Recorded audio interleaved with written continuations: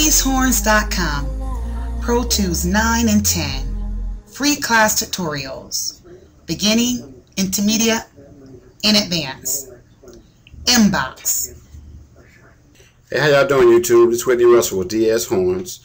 Today's video is going to be on the interface that's needed for Pro Tools 9 and 10.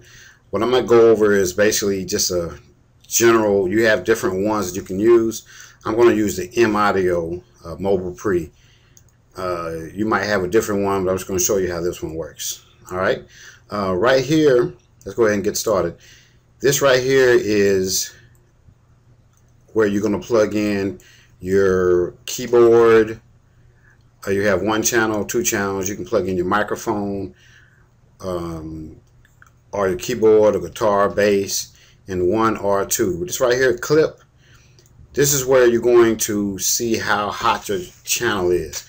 It shouldn't go in the red. If it starts going into the red, then it's too hot. You want to turn it down just a little bit. Okay, you have a clip for one and you have a clip for two.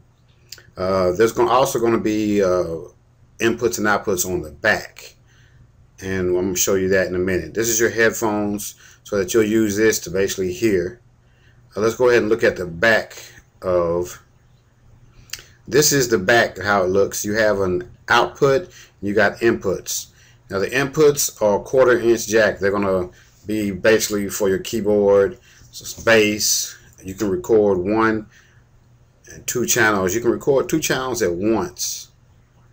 These are your outputs where if you want to listen to what you're doing, you might want to plug this into your monitors, to your system, to your home system, to your studio speakers.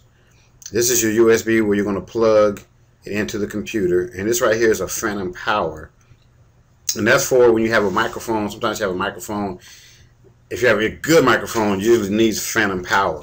So you're going to want to turn that on. If you don't have a microphone that doesn't need phantom power, turn that off. And different Mboxes or interfaces they look different. They might have different channels. They might have four or five different channels. But basically, this is how all of them work. This is how you're going to get to record on the Pro Tools. You got to have one of these. And you got to plug it in every time you plug in the Pro Tools or it won't work.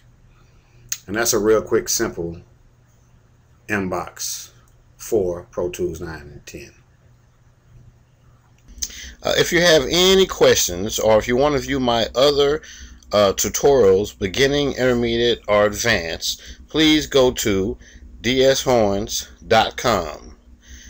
If you need a horn section on your track, horn solos, piano chords, piano solos, or help mastering your track, contact me at facebook.com backslash ds.horns or at dshorns at yahoo.com. And please make sure to send me a friend request on Facebook for Pro Tools updates and free plugins.